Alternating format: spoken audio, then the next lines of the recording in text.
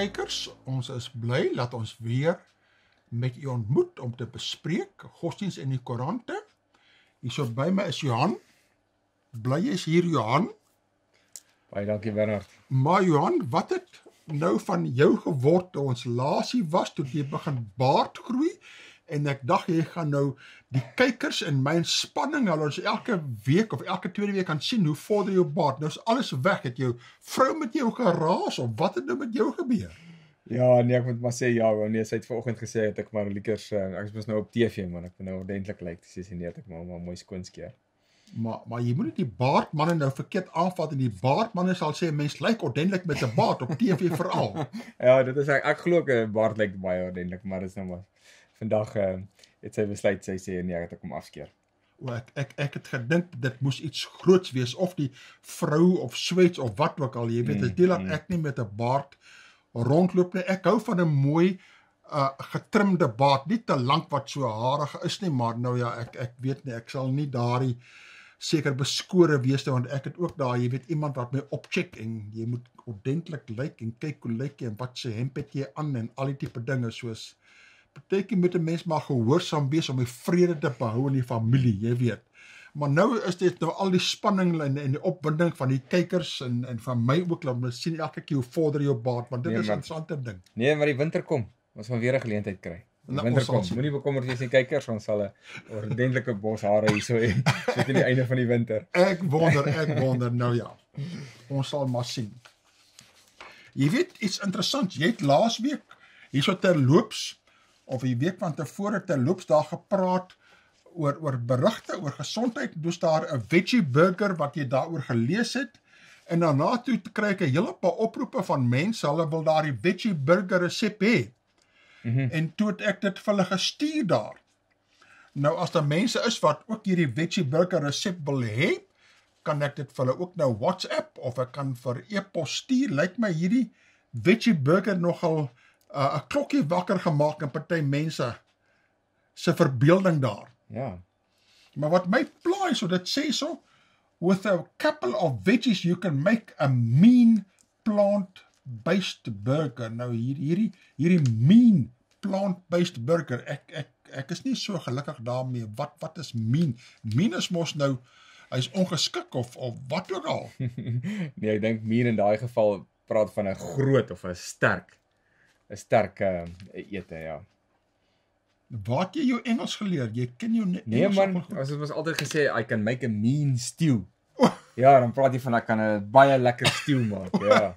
Ek dink is dieselfde woord wat daar gebruik. Ek ek ek het gaan opkyk nou in in die woordeboek en eers daai hierso is nou mean. Daar's sommer 'n uh, eislike klomp means. Means noun, means adjective, means another a means a verb. Eerste day maar op een plek hierdie Engelse taal is nou maar verwarrend jong mense moet pas op vir hulle. Hierso sê op een plek sê hulle no mean achievement. Soos jy daar gesê het geen geringe prestasie 'n groot prestasie ons hierdie is geen geringe burger hierdie nie. Maar jy weet toe ek nou sien die belangstelling in die in die veggie burgers dog ek ek moet weer eens vir onder kliënte se aandag bring. Hierdie boek lekker eet Hierdie is die boek wat geskryf is deur Erinda Stanner. Sy's nou die eggenote daarvan Reina Stanner. Plantbaseerde resepte deur Erinda Stanner. 'n Pragtige boek hierso vol prente. Nou ons praat so oor 'n mean burger. Nou hierso is nou mean burgers hierso in, né? Nee?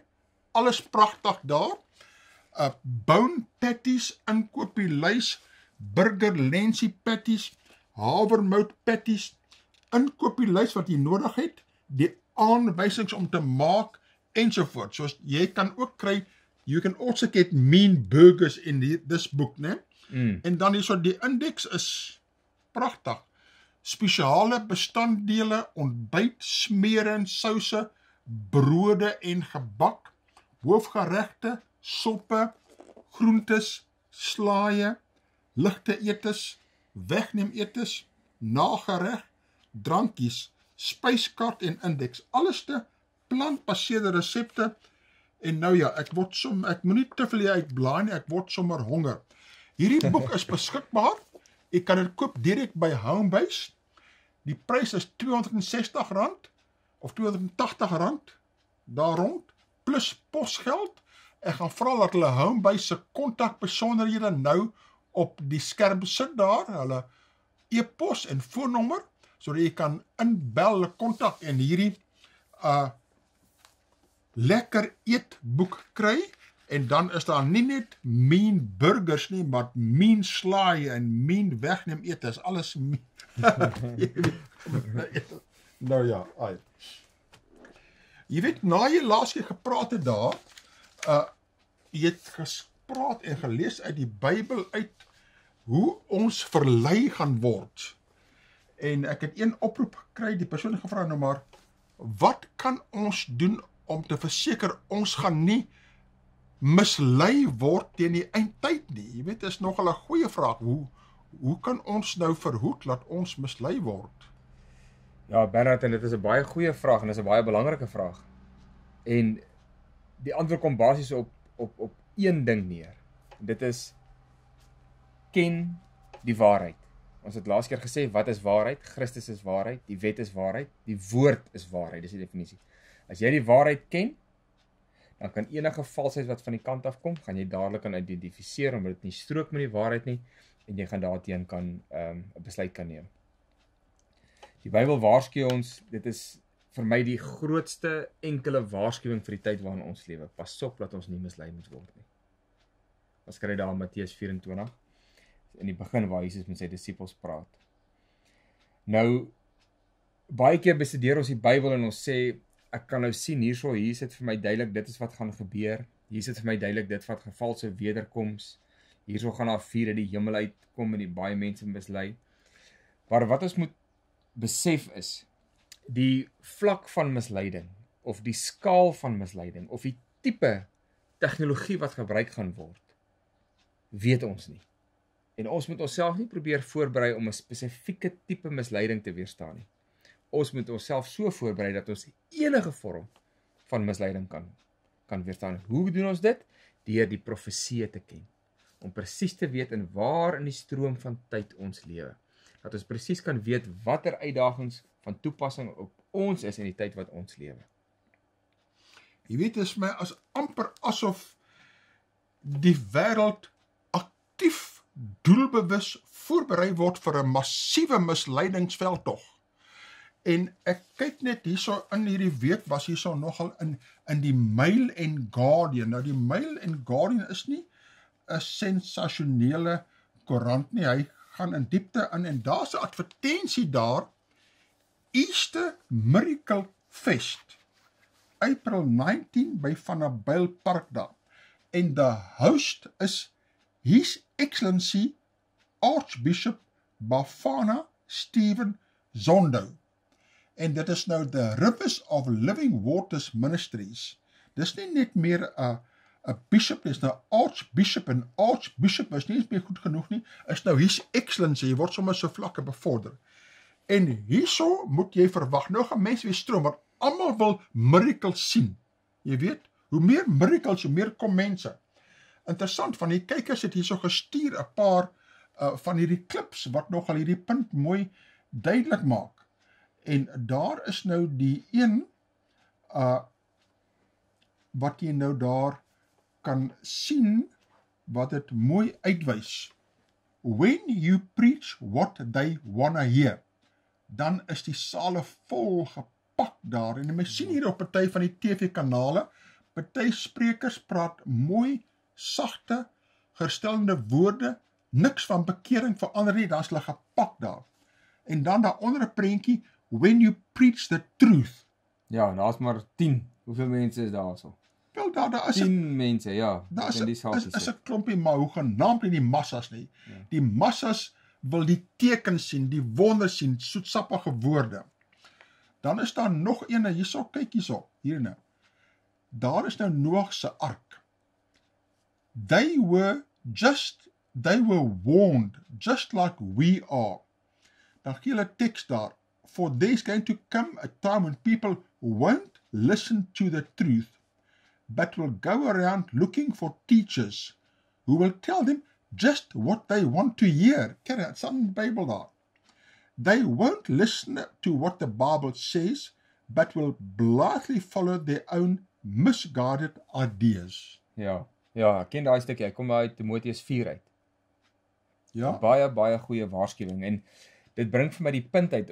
Ons as kykers, julle moet verstaan dat misleiding gaan nie buite die kerk gebeur nie. Misleiding gaan binne in die kerk gebeur. Dis die ergste, dis die gevaarlikste. Ja. Ons moet verstaan binne in die kerk gaan daai verskillende tipe misleidings wees binne in die kerk, né? Nee? Soos ons sê, nie van buitekant af nie. Daar's drie tipe misleidings waarop 'n mens moet waak. Die ene is iemand wat jou doelbewus mislei. Hy gebruik die woord van God, hy gebruik die Bybel, hy weet hy gebruik dit op 'n manier wat nie waar is nie om 'n sekere doelwit te bereik. Dan kry jy 'n ander vorm van misleiding en dit is wanneer die persoon opreg is, maar hy's verkeerd. So jy word mislei, maar die persoon besef nie hy is verkeerd Want hy weet nie van beter nie. hy weet nie van beter nie. Maar die heel gevaarlikste ene is wanneer jy jouself mislei. En soos ons nou in daai stukkie gelees het daarso in Timoteus, ek wil hoor wat ek wil hoor. Ja. Ek stel vir myself mense aan wat vir my sê wat ek wil hoor. Ja. Daar is jou gevaarlikste vorm van misleiding. Nou kyk, hier's 'n prentjie ook wat iemand vir my gestuur het, kyker gestuur het. En dit sê so: There are two kinds of people who read the Bible. Those who want the truth, allowing the scripture to speak for itself aan die linkerkant. Aan die regterkant, those who want validation, seeking to justify what they already believe. Dan vra hy, which kind are you? En dit Mhm. is verskriklik belangrik as ons 'n verkeerde ingesteldheid het, dan is dit baie maklik om my mislei te word, né? Want ons het vooropgestelde idees, ons wil nie aanvaar wat die Bybel sê nie en dan word jy Ja. mislei. Gewoonlik is daar die Bybel van as ons lees en ons moet verander, Ja, dan wil ons nou 'n kort pad of 'n ompad rondom dit soek. presies, presies, presies. Dan's daar een ander goeie een hierso. Kyk hierso. The secret rapture is so secret the Bible doesn't know anything about it.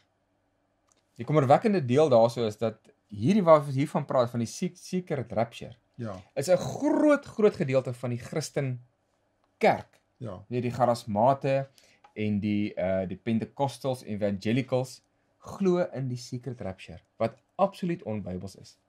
Nou ons preek en ons waarsku mense teen daardie ding. As jy daai secret rapture teorie in vasgevang is, dan is hierdie groot skaalse misleiding wat vir ons wag wat daarso in 2 Tessalonisense 2 voorkom waar Satan homself gaan voordoen as Christus. In 'n ander boek, ehm um, die groot stryd lees ons ook sê ehm um, die skrywer daarso This is the almost overwhelming delusion wanneer Satan homself voordoen as Christus en die wederkoms probeer namaak. Hierdie hierdie teorie van die ehm um, van die geheime wegraping berei die wêreld voor om dit te aanvaar. ja, ja, nee, absoluut. As van die kykers hierdie uh WhatsApp printe wil hê wat van die kykers aan my gestuur het, laat my net weet, stuur my uh WhatsApp dan stuur ek vir u illustrasies. Dit maak nogal die punte baie goed en baie duidelik. Dit laat 'n mens dink daar. Ja, soos ons moet voorbereid wees. Jy hoef nou nie die elke Bybelteks wat jy kop het te ken nie, maar jy moet die hoofrigtings weet en daaroor is hierdie stasie hierso gevestig. Mhm. Homebase om die mense die waarheid oor te bring sodat hulle ook kan opgaan en weet wat is die hoofbakens met die eindtyd. 'n Mens moet die hoofbakens weet dat jy voorbereid is. Soos die Bybel sê. Christus gaan kom en gesê maar Christus is hier of hy's daar, hy's uitdruklik. Moet dit nie glo nie. Ja. Elke oog sal dit sien. Hm. En daaroor met die rapture, party sal weggerapture word en party nie. Nee, nee. Elke oog sal hom sien te gelykertyd. Mhm. Party gaan nie hemel toe vooruit voor ander nie. Glad nie so nie. Wat ek ook kan sê, ek self 'n paar jaar terug het ehm um, daar's persone wat baie baie tyd en baie ehm um, van hulle hulpmiddels insit om DVD reekse op te stel om Ja. mense teen die volledige vlaag van misleiding wat verwag word te waarsku. Ja. Mark Woodman het 'n reeks en uh ehm um, Walter Fight het 'n reeks En ek is seker dit is beskikbaar hierso by ons. Ja, as kykers hierdie reeks wil hê om die reeks se deur te gaan sodat hulle misleiding kan vryspring of dit baie verminder, kontak Homebase op sy kontaknommers en hulle sal vir u die lys stuur van al die DVD's wat jy daarvan kan bestel en ingelig kan word van eindtyd gebeurtenisse. Nou wat het jy volgende daar? Ai, dit is hartseer man. Ons sien ons op die voorblad van die van die burger is hierdie ehm um, Notre Dame in sak en as. Wat 'n tragedie om hierdie kerk wat nou al uh, bykans 1000 jaar oud is te sien in vlamme. Dis nou letterlik in sak en as, né? Nee? En daar wys hulle al die sakke en asse daar. Ja, op die prentjie wys hulle dit is nou seker van die dakstruktuur wat ingetuimel het bo op binne in die kathedraal in.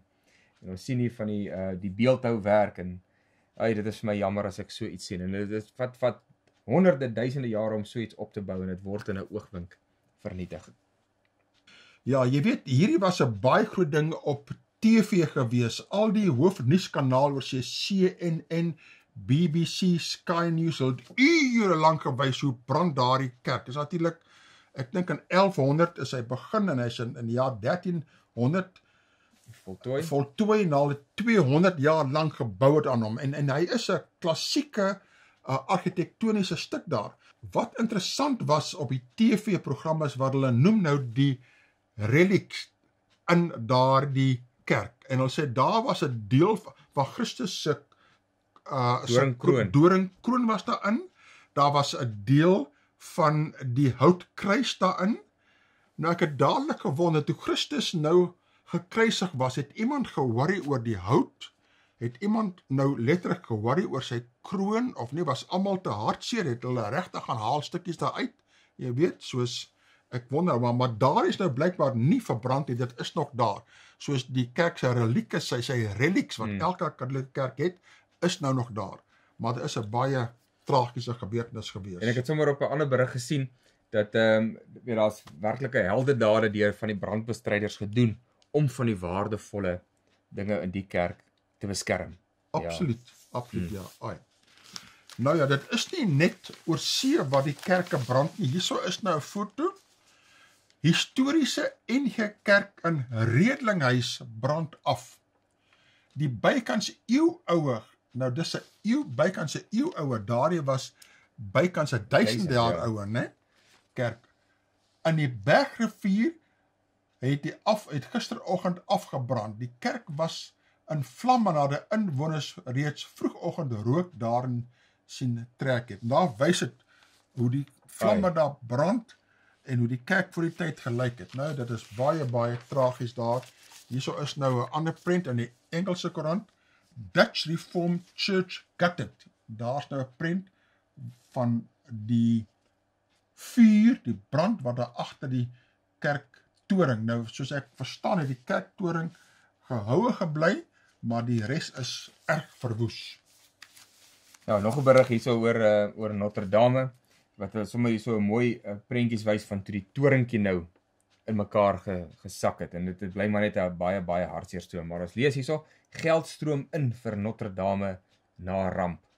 Omdat dit nou so en ek dink ons het daar gehoor van tot 13 miljoen toeriste per jaar wat dis hierdie plek besoek. Dis reg, ja. Dink net ja. wat is die ekonomiese impak as jy nou so verlies gelei het? Ja. Ja. Nou as jy kyk na nog van die foto's natuurlik uit uit geweldige historiese betekenis van Napoleon het homself in daardie kerk gekroon.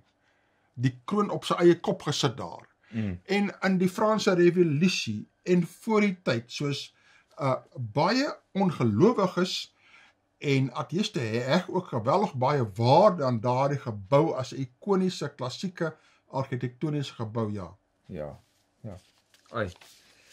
Hier sit ons met nog 'n nog 'n fotootjie. Parys en Notre Dame in ligte laaie. Ai, die mense is hartseer. Ons sien net hier 'n mooi foto van die vlammetjies wat hulle daar wys. Die Notre Dame kathedraal in Parys was gister in ligte laaie nadat 'n brand onverklaarbaar uitgebreek het. En daar is nou spekulasie oor wat daar gebeur het, maar ons is nie seker nie. Reuse vlamme het in die lug opgeskiet en as het geval op toeriste wat rondom die eiland gestaan het wat die middelpunt van die stad is. Teen druktyd het die BBC berig dat die toring en dalk van die 850 jaar oue kathedraal reeds ingetuimel het. President Emmanuel Macron het gesê hy dink aan die Katolieke en die Franse burgers. Soos al my landsburgers is ek vanaand hartseer om die deel van ons te sien brand, het hy volgens die BBC gesê. Maar dis nou nog eenetjie. Ehm um, Pretoria Kerk loop onder betogers deur. Soos hy het nou nie self gebrand nie, hy is eintlik verbrand. Brandstigting, ja, Brandstigting vernietiging. daar. Skade van der duisende rande is aangerig by die Nederduits Hervormde Kerk Westmoed in Booyens, Pretoria, toe betogers donderdagoggend die kerkgebou binnegestorm, geplunder en gepoog het om die gebou aan die brand te steek. Ai, kan jy dit glo? Die gemeente se dominee Rudy Botha het aan Marula Media gesê, hoewel dit tans onmoontlik is om die presiese beraming van die skade te gee, is dit duisende en duisende rande. Betogers het die palissade om die kerk oopgebreek om die perseel binne te kom. Kan jy glo? Dit is 'n ongelooflike en dit is nou ons gaan weet allerlei verskillende motiewe hoekom um, hierdie dinge gebeur en hierso blyk dit asof dit nou alles tot aanloop van ons verkiesing hier in die land is. Ja. Ja, baie tragies. Nou ja, hierso is blou Willem Maandag en hy sê dinge raak lelik verby as hulle kerke brand, soos jy nou net daarna verwys het, né? Nee, kyk. As hulle begin kerke brand, raak dinge lelik. Eintlik lelik verby. Dis nou 'n hmm. ware woord daarin. En om dan nog die arme ou liedboekies en Bybels ook aan te val. Hulle het seker maar net 'n blaadjie uit ou Eis se boekie geneem, dis nou Eis Makashula se boekie geneem om te skeur en te verbrand. En dis al erg genoeg. Maar die woord nee mense, wat gaan die ander mense van ons dink? Sis man. OK, ek weet julle lees die Afrikaanse vermaanings in gesinspublikasies nie, maar sis vir julle in elk geval. Ja nee. Soms dink ek dis ook maar beter dat ouma Tinkie en oupa Piet betyds weg is na waters waar rus is. Nee, dit is waar. Dit is dinge raak lelik verby as hulle kerke brand. Dis absoluut absoluut. Dit is nie net vandalisme nie, maar dis eintlik vandalisme teen God self. En ja. dit is die erge ding hierson. Maar dis nie net na ons land nie. Hier is nou 'n bruggie. Dit sê charges pile up after church arson attacks. Three more charges were lodged against the son of a sheriff's deputy accusing accused of burning down three mainly black churches in southern Louisiana in the past few weeks. A Louisiana judge added three federal hate crime charges against Holden Matthews, 21 years old, and denied him bail on Monday. Matthews was charged with three counts of arson on religious buildings, officials said. En daar is 'n prent van hom. Jy weet en hierdie dinge gebeur baie baie meer as wat ons besef. Jy sien baie keer in 'n bruggie hier of daar of wat van al die aanvalle van kerke in Europa op veral protestantse Christelike kerke. Uh in Duitsland in, in Frankryk in, in uh Noorwe, verskillende plekke. So dit word 'n inding en baie keer word dit nie oor berig nie want hulle wil nie sê dis immigrante of dis moslimar kerke aanval, hulle wil dit maar net so neutraal stilletjies hou. Maar dit is 'n absolute verkeerde ding hierdie aanval op die kerke. Ja, ja. Ja, dit is interessant. Ons het nou hierdie ehm um, berigte in die koerant oor oor die omstrede boek van van Pieter Louis Meyburg rondom Eis Magashules. Noem dit 'n unraveling Eis Magashules web of capture, 'n gangster state. En dit is 'n mooi prentjie daarvan hom. Nou ehm um, en omdat hy nou die boek geskryf het, het van sy aanhangers wil nou protes daar daarteen maak. En hulle wil sê nee, daar's daar's daar's onwaarhede binne in hierdie boek aangeteken. En nou die hoofopskrif hierso sê vir ons book burning and the end of reason. En dit bring nou vir jou dadelik 'n klomp gedagtes van die geskiedenis terug, nê. Nee. Om om 'n boek te verbrand was basies 'n simbool gewees om te wys jy staan teen daardie persoon. Onthou jy hoe hulle Martin Luther se se boeke verbrand? Brand. Ja. En toe wat doen hy toe? skryf hy nog meer boeke. Ja, hy hy skryf nog meer boeke en hy vat nou weer die die ehm um, die katolieke se boeke wat teen hom geskryf het, hy verbrand dit nou weer as 'n simbool, weet ons stem nie saam met mekaar nie. En in die Franse Revolusie het gewys daai Notre Dame kerk, né? Ja. Daar was baie boeke verbrand, protestantse boeke Ja. en protestantse Bybels wat hulle nie Bybels. gehad het nie. Bybels, So dis 'n ou historiese ding hierdie van boeke verbrand. Nou Ja. kom dit weer in in ons land in. Ja, en nou onthou ons daai ons onthou nou daai geskiedkundige ehm um, feite omdat dit nou so 'n groot opslag gemaak het. Verbrand Bybels, verbrand waarhede, verbrand daai klas van dinge. En nou gaan hierdie ek nou weet ek nie wat is hulle plan van aksie nie.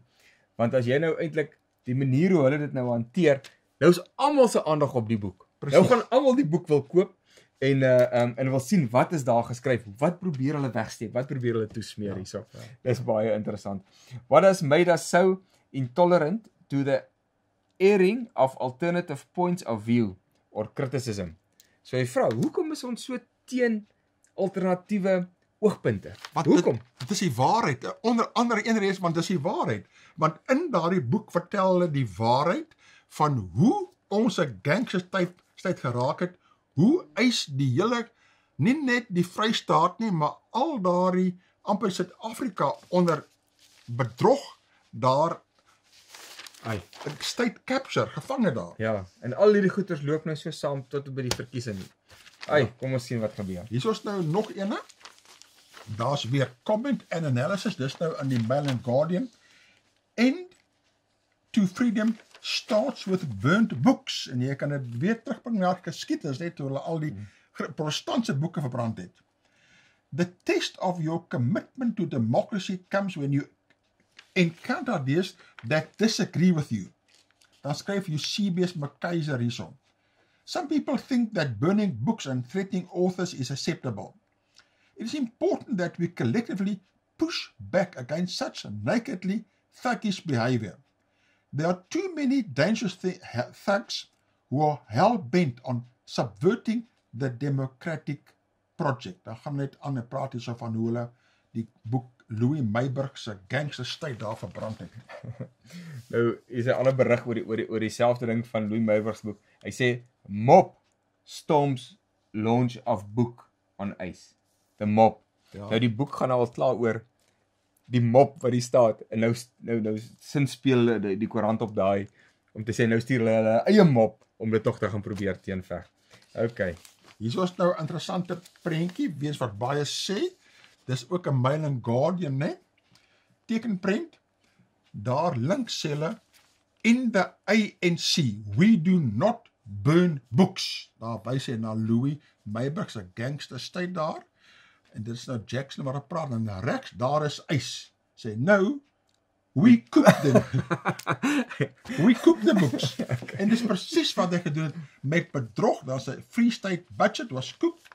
Free State housing order was cooked en alle dinge daar. Daar staan nog 'n klomp onder. Klomp. Eskom was cooked, PSC was cooked, SAA, South African Airways, Prasa the railways, alles was gekook. Hulle cook the books. They don't burn it. It is not moet dit nie doen nie. Ja, hierdie enetjie ook hierso uh, in die Soweto next time you burn a book, now you're drawing more attention to it. Soos ons nou nou gesê het, jy weet hulle het nou presies die teenoorgestelde bereik as wat hulle hulle punt wou maak. En jy weet dit laat mens dink daar aan die vroeë hervormers. Ek weet dat daar daar in, in Engeland was van daardie hervormers verbrand. En toe Ja. sê hulle you are now starting a fire that you will never erase want toe het die hele hervormingsbeweging geweldig vlam gevat Ja. en hy het die hele Engeland deur versprei. So so meer mense hulle verbrand het. Ongelukkig nie net boeke as by boeke gehou sou dit goed gewees het, maar mense verbrand, hoe meer het dit die die vure van die hervorming ja. aangevuur daar. Ja, en die kollig op het geplaas en die Ja. mense wil weet wat probeer hulle toedruk. Hier is nou weer 'n brug. ANC scraps book burning plan. Luthuli has slams youth wing for disrupting launch defined party's principles. The ANC Youth League in the Free State has remained, remained defiant despite backing down on its planned burning of copies of a new book that has put ANC Secretary General Ace Makashula under scrutiny. Soos die aansê te sê, nee, moenie boeke daarso verbrand nie. Kyk hier's nou weer Madam en Eve. Ja? Hulle is mos altyd ietsie te sê. So hierso vra ehm um, Vra madam. What's that? Service delivery protest? Dis mos wat ons nou oral sien. Ja, is brand. Ja, kry jy die antwoord hierso. No, it's just a book launch. So So 'n book launch lyk nou soos 'n service delivery protest, ja. en word verbrand daarso. Ai. Hier is nou 'n berig ook en dit is ook hierso in the August dat sê editorial the rule of law must prevail. Mm. Senior leaders in the ANC have rightly condemned plans by the ANC Youth League in the Free State who are threatening to burn the book Gangster State which contains allegations against the party's Secretary General Ace Magashula. Then eindig hy af hierso. Hy sê uh there are platforms to raise issues of discontent with the allegations raised in the book and Magashula is prepared to go the legal route to test the claims made in, against him. The rule of law must prevail or this type of protest will extend far beyond the books. The bottom line is we cannot idly sit by and watch as political and civil rights are trampled upon. Nou hierdie sinnetjie is baie belangrik. The rule of law must prevail or this type of protest will extend far beyond the books. En laat my dink aan die Bybel. If you don't respect the rule of law in the Bible, dan gaan die implikasies ook baie ver Ja. strek. Ja. Hy dit as jy sê die wet bestaan, die wet is weg, is implikasies daarvan geweldig wyd en verregaande. Ja, en ons leer dit vir ons kinders ook. Ons sê jy kan nie as jy 'n oorweging wil maak, jy kan nie net dink aan wat nou van toepassing is nie. Dink heeltyd wat is die implikasie van jou optrede? Wat Ja. is die implikasie van jou besluit? Ja. Ja, en ons kan dit baie keer ons is baie keer kortsigtig, né? Ja. Ja, veral as dit nou hier naby die verkiesing kom, dan wil ons net wen teen alle koste en ons wil net kry teen alle koste sonder om te dink en ons maak sommer baie keer beloftes wat ons nie kan nakom nie. Ja. Ja, en dan loop dit uit op hierdie ding. Maar heeltemal op 'n ander ehm um, op 'n ander onderwerp wat ons nou al baie keer eh, bespreek het hierson. Maar ons wil weer eens terugvoer. aanbespreek. Ons gaan dit seker nog die mense gaan dalk nog moeg word vir dit, maar dit is 'n belangrike ding. En dit gaan oor ons gaan praat oor die NG Kerk en die gay regte en die doop en daai klas van ding. En hier kom 'n ehm um, 'n berig nou neer. Ons het gevra wat gaan nou gebeur na die hofuitspraak? Wat gaan nou gebeur? En nou kry ons hom hierso alliansie van kerke hof toe oor gay regte in die NG Kerk. So, ons het 'n berig gehad van mense wat vra, "Hoe raak dit nou die ander kerke?" En nou sien ons hierso, kom ons lees hierso. 'n Groep kerke het 'n aansoek voor die Noord-Gautengse Hooggeregshof in Pretoria ingedien om die hofuitspraak wat diskriminasie deur die NG Kerk teen gay mense verbied te hersien, uit en uit te klaar. Die the Alliance Defending the Autonomy and of Churches in South Africa is in is in Julie verlede jaar gestig en van die lede is kerkleiers wat bekend is daarvoor dat hulle krities is oor die uitleef van homoseksualiteit. Die voorsitter van hierdie organisasie is Mos Ntsla wat ook sekretaris-generaal van die Evangeliese Alliansie van Suid-Afrika is. Die alliansie se ingryping volg op 'n besluit verlede maand deur die volbank van die Noord-Gautengse Hooggeregshof dat die NG Kerk se 2016 besluit om nie gay predikante of gay huwelike toe te laat nie, sowel as prosedurele prosedurele as grondwetlike redes ongeldig is. OK, so hierso is nou 'n uh, um, 'n definitiewe aksie in 'n 'n vraag wat gaan so, soos die die hoe gaan dit ons ons raak? mos laaskeer gesê die NG Kerk wil nie appeleer nie. Hulle los dit nou net so tot die einde van die jaar as nodig. Ja. Maar nou is daar ander kerkgroepering wat sê maar wat is die implikasie van daardie hofbesluit nou? Yes. Ja, en ek dink hulle het hulle die volste ehm um, reg om bekommerd te wees. Ja. Hoe gaan dit ons wat is die implikasie? Hoe gaan dit ons raak? Heel aan die einde van die in die berig lees ons hier. Voorts voer Guam aan dat die uitspraak hoegenaamd nie onduidelik is nie. Die NG Kerk het die saak op sowel prosedurele as grondwetlike gronde verloor. En ek stem saam met hom. Hierdie is was 'n interne saak vir die NG Kerk. Maar tog, wat is die implikasie in die toekoms vir ander kerke? Ja. Ons gaan kyk en sien wat gebeur. Baie interessant. Nou hierso is is 'n ander berig. Ons het laaskeer weer alreeds daarna verwys, maar dit het my nou weer eens getref. Jy weet. En dit sê hierso 'n 'n gravament, 'n beswaarskrif waarin versoek is dat weer doop toegelaat moet word het in 2015 voor die algemene sinode gedien.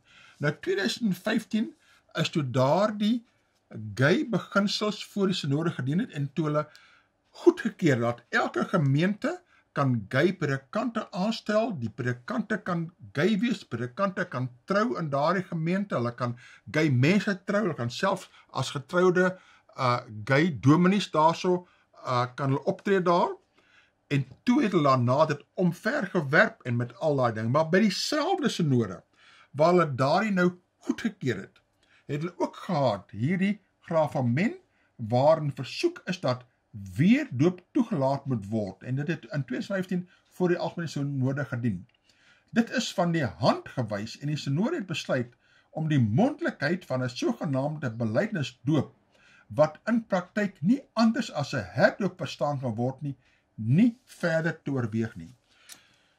Soos twee dinge is toe daaroor weeg by hierdie 2015 sinode. Een ding is laat hulle moet toelaat laat die dominees kan gay wees en kan self trou as gedei as gay mense en ook gay mense in huwelik bevestig. En daar is daar goedgekeur en later omvergewerp. Maar by dieselfde ene is daar 'n gravement, 'n voorstel laat hulle moet die doop van volwassenes toelaat. En dis afgekeur en dit mag nou nie verder weer oorweeg word nie. Soos daar was twee amper ons het laas gepraat van hulle het daardie Rubicon oorgesteek. Mm. Soos hulle het die Rubicon oorgesteek aangaande die gay huwelike en gay dominees, maar die uh Rubicon van die doop van volwassenes van die Bybelse doop, dit hulle geblok en gestop. Eindelik moes net andersom gewees het. Ai, en ons het dit nou al 'n paar keer gewys en dit is dit is, dit is net so kommerwekkend. Wat is die implikasie as 'n mens begin om die wet van God nie te gehoorsaam nie?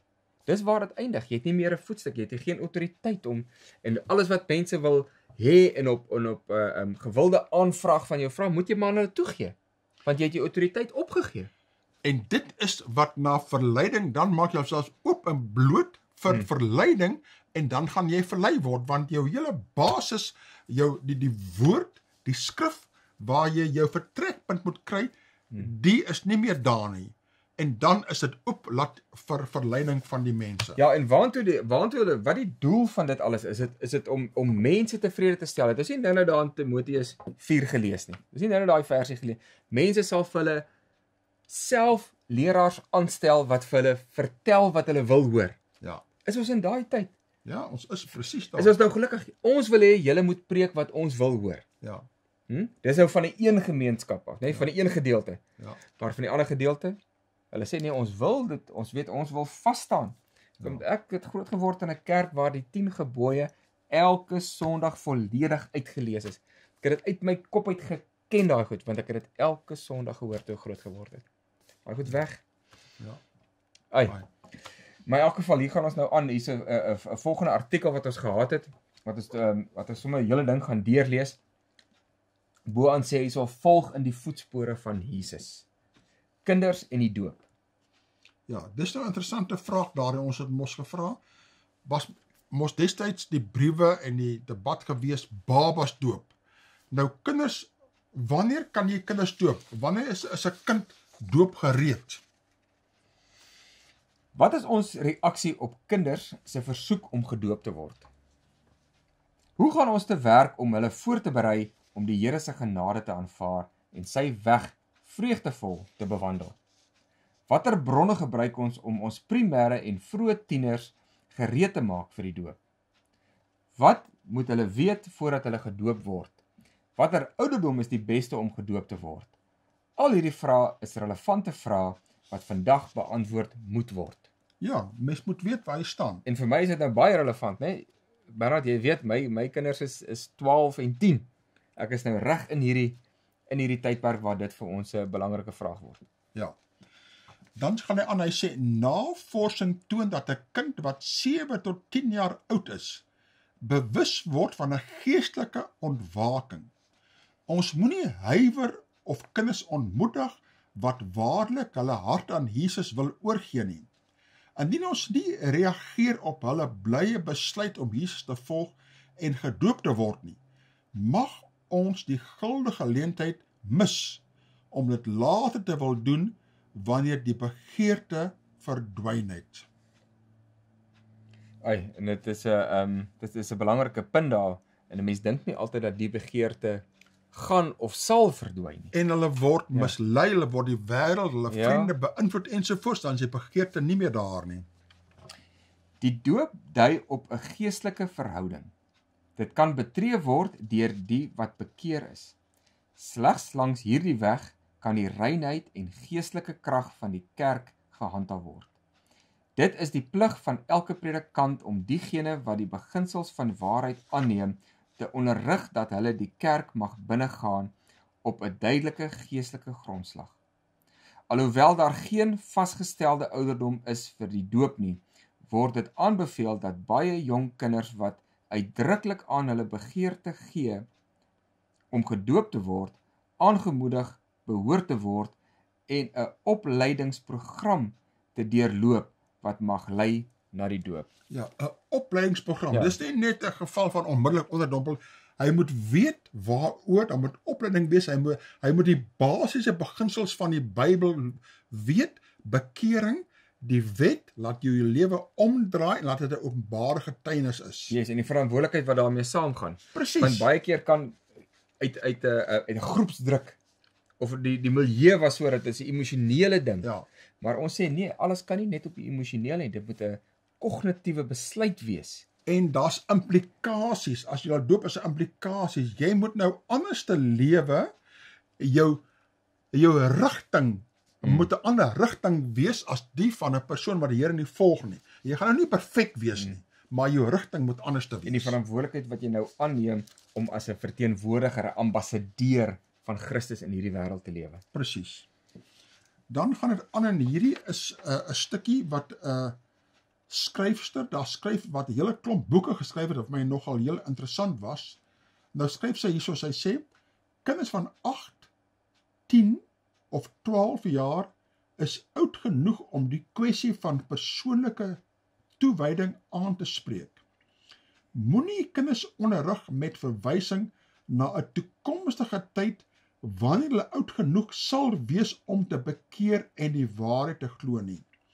Wanneer hulle reg begelei is, sal baie jong kinders die regte sninks van hul status as sondaars hê en van die verlossingsweg deur Christus. Dit is so 'n sipopskrif hier so belydenis van geloof. Wanneer 'n kind besluit om 'n volgeling van Christus te word, behoort die kinderbediening koördineerder die kerk leierskap aan te moedig om 'n diens vir 'n belydenis van geloof te reël. So 'n plegtigheid help met die kinders se besluit en bevestig die kind se keuse. Dit herinner die kind dat die gemeente saam met hom bly is oor sy of haar spesiale oorgawe. Ja. Jy weet hierdie belydenis van geloof is 'n interessante term want die NG Kerk en jy sal nog beter weet wees as ek. Hulle het nou daar die kinderbesprinkeling. En dan wanneer jy nou katekisasie uh, deurgeloop het, dan lê jy belydenis van geloof af, dan word nou amptelik lid van die Ja, kerk. dis gewoonlik as jy so 17, 18 jaar oud Ja. is. Maar belydenis van geloof is eintlik jou doop. Wanneer jy doop, dan het jy openbare belydenis van geloof. Laat jy het, het Christus aanvaar daar. Mhm. Mhm. Dit is reg. OK.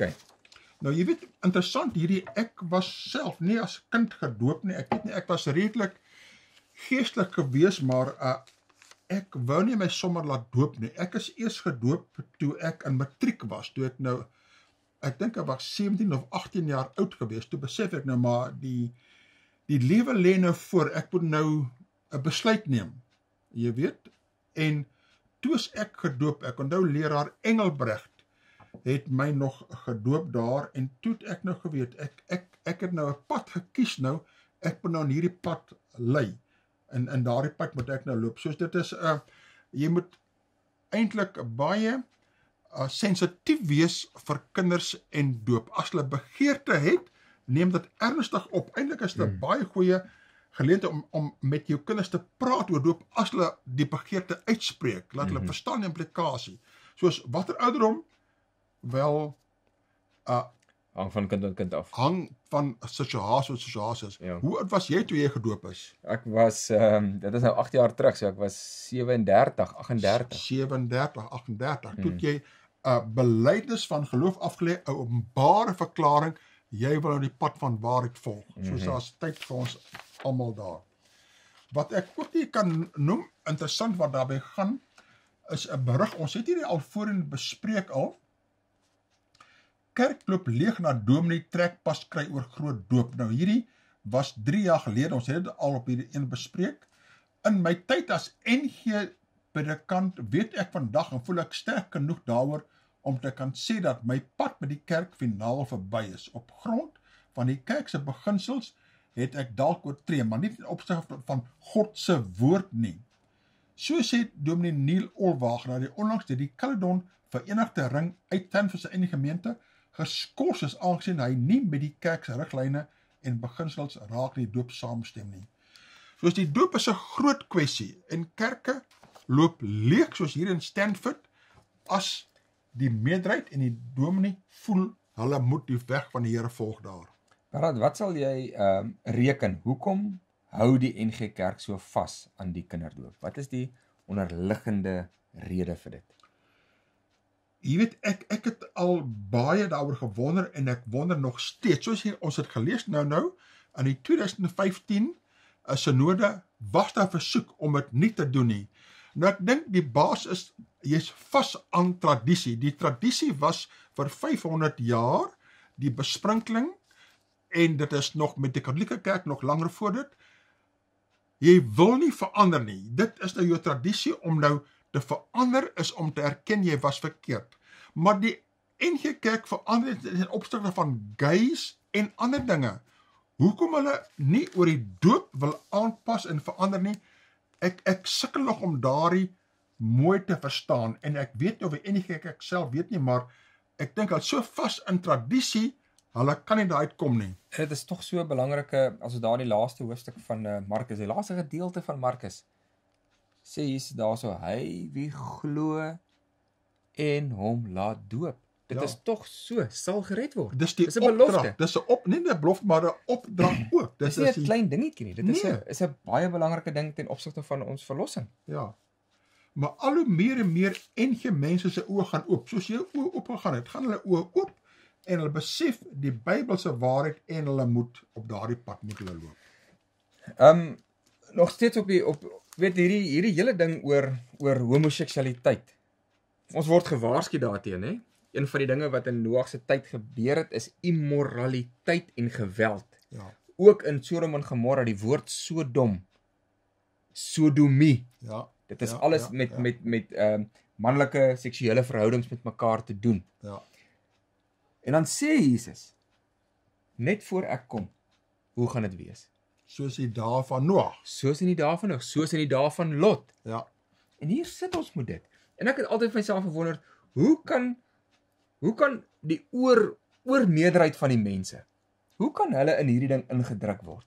Want- maar nou sien ek dit voor my oë gebeur. Want ons ons weet die waarskuwing van die Bybel soos in die dae van Lot, dae van Noag, maar met oop oë skep ons daardie selfde omstandighede weer. En hoe gebeur dit? Dit gebeur dit deur deur deur mense te ek wil amper sê breinspoel konstant. Ja. As jy iets sê negatief teenoor ehm 'n 'n 'n 'n gay verhouding, dan is jy in die nuus en almal is teen jou. dan is jy God gaan. As jy iets positiefs niks nie. Ja.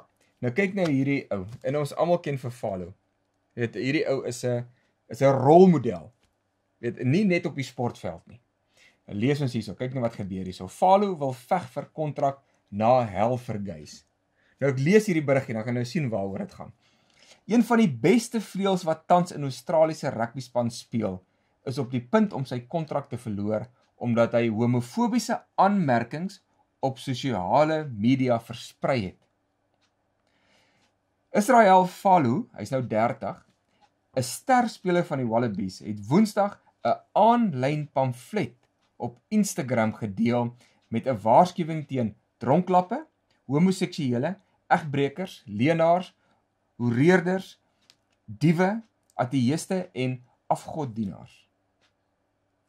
Dis nou net 'n ding wat hy aangestuur het, 'n pamflet wat hy gekry het, geforward daar sy. in Engels sê. Yes. Verder staan daar op die pamflet: Die hel wag vir jou. Berou.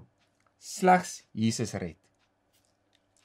Follow het self sy eie onderskrif daarby geskryf. Jesus Christus is lief vir jou en hy gee vir jou tyd om weg te draai van jou sondes en na hom toe te gaan.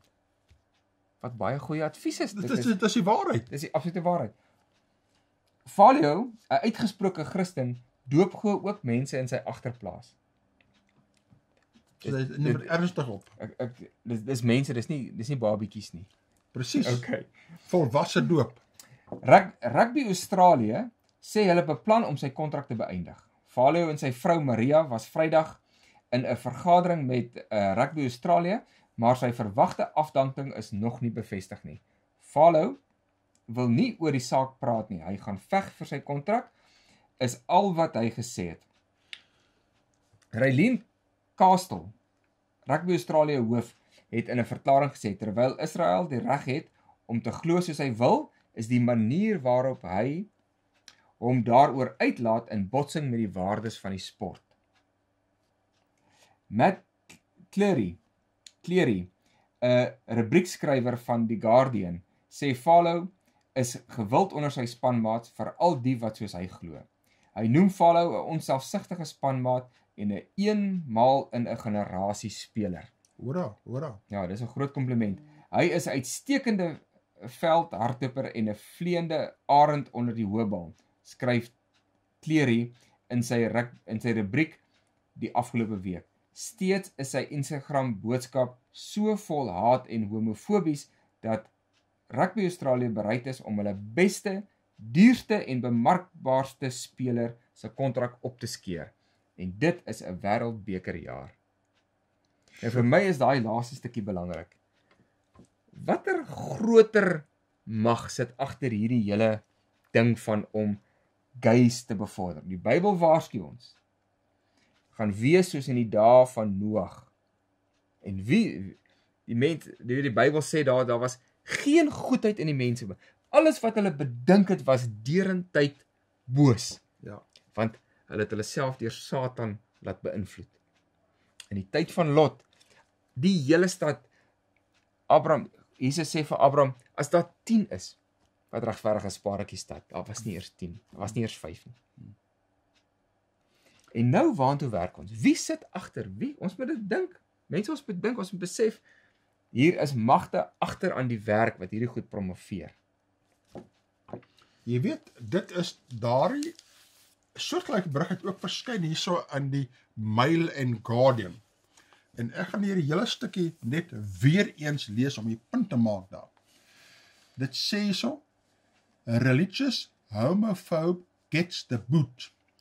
Rugby star Follow, who has 73 caps and was expected to play in this year's World Cup, is to be fired by Rugby Australia and the New South Wales Rugby Union, which runs his team, the New South Wales Waratahs, because of his homophobic tweets. He recently posted on Instagram that hell awaits drunk and the, the aanhalingstekens drunkards, homosexuals, adulterers, liars, fornicators, thieves, atheists and idolaters. Nou, hy het nie hier gepraat teen assaults net teen gay mense wat ook al nie. Hy het eintlik 'n Bybelteks aangehaal. Soos maar al die dronk mense, het hulle beswaar gemaak? Nee. Al die adulterers, het hulle kom beswaar maak teen hom? Nee. Al die mense wat lieg, het hulle kom beswaar maak en hom geaankla? Nee. Al die fornicators, almal wat ontuig pleeg, hulle gaan gaan beswaar maak? Nee. Al die diewe, diewe kom beswaar maak? Nee. Ateëse sê Die ateëste, ateëste en daar's baie van hulle doodstil. Hulle maak nie beswaar hier nie. En idolaters, die mense wat ander afgode aanbied, hulle sê niks. Maar nou word alles gesê hy is homofobies teen die gays, nê? Nee, wat is daar agter? Dan gaan dit aan. He made similar comments last year and the year before he publicly opposed same-sex marriage which was being voted upon in Australia. He was playing for the Wallabies at the time. Former Wallaby Mark Gerard called Follow an idiot. And New Zealand born player Michael Leach, now captain of the Japanese team, called Fowlen a bully. Qantas, which sponsored the Waratahs, said his views were disappointing. Nou wat die implikasie van is as jy sekere Bybeltekste aanhaal, dan kan dit jou loopbaan in en aanhaal, jou loopbaan verwoes, jou toekoms verwoes ensovoorts. Hy het effektiewelik net Bybeltekste aangehaal daar. Ja. En daarvoor word hy nou totaal En Terwyl jy nou daar gelees het, dink ek nou sommer net aan een wat nou makliks om te kry heel op die einde van Openbaring. Ja. Salig is die wat die gebooie doen sodat hulle kan reg hê op die boom van die lewe en ingaan deur die poorte van die stad. Maar buite is die honde en die towenaars en die horeerders en die moordenaars en die afgodedienaars en elkeen wat die leuns liefhet en doen. Dis Dit is 'n eintlik Bybelse beginsel. tot tot mate herhaling van van daardie. Ja. Ander teks ek gee dit 'n bietjie meer in detail in. Yes. soos jy mag eintlik nie meer sê wie gaan hel toe nie. Natuurlik baie mense glo in hel nie, maar as jy dit net aanhaal, ek sou graag wou sien presies wat was sy die konteks van sy aanhalings op sy social web daarso. Mm, mm. Uh jy weet het hy aangehaal die teks, die verteks verwys wat die Bybel sê, by maar party sê mos die Bybel is 'n homofobiese boek. Dis mos wat party die aanval wat nou is daar. Ja. Nee, ander waarskuwing, ander waarskuwing wat ons kan sê, ons weet ons ek kan sien ons tyd raak bietjie uit, is 'n ehm um, media, sosiale media. Wees versigtig vir dit. Die die die WhatsApp groepies. Mense kan goed op daarop plaas, daar is geen gronde vir dit nie. Jy kry hom, jy dink dit is oulik, jy stuur hom aan. Ja. Dit maak jou skuldig aan daai boodskap. Jaar op jaar word ons by die skole gewaarsku as as in die begin van die jaar waarsku die skool mense wees versigtig vir die WhatsApp groepies. As jy 'n foto van iemand kry of jy sit 'n of jy sit 'n klag of jy het haatspraak teen die skool of 'n of net 'n klag teen die skool. Julle almal kan deur die wet daardeur ehm um, in die moeilikheid kom. Ja, ja. Maar wat as jy nou Bybeltekste sirkuleer en dit is nou nie die streelende sagmoedige Bybelteks nie, maar dit is Bybeltekste oor die hel, oor die eindtyd, oor die waarde wat sê maar jy jy stuur dit net die Bybelteks sonder enige kommentaar. Jy kan in moeilikheid raak of hoe? Nou ja, dis 'n vraagteken. daarmee gaan te kykers is ons tydjie al weer verstreke. Ons wil weer eens dankie sê vir al die mense wat 'n bydrae maak elke maand. Uh en elke maand is 'n krisis hier soos die wisselkoers styg en onkoste styg daar en ons wil op die skerm sit die nommer wat u kan skakel en 'n vernoot word word 'n vernoot. Gee R70 'n maand. Meeste mense kan R70 'n maand gee en ek is altyd so bemoedig deur die pensionarisse wat 'n bydrae maak. Diegene wat min geld het, maak 'n bydrae, R70 of R100. Party mense wat nou werk kan meer gee. 'n Kontak daar, stuur 'n SMS, ons sal die kontak laat die uh, debietorder kan voltooi, aftrek persoonlik kan voltooi en ons sê vir u baie baie dankie laat deur middel van u bydraes hierdie staas aan die gang kan bly. Ons sê vir alles van die beste tot volgende week. En van my kant af ook baie dankie. Totsiens.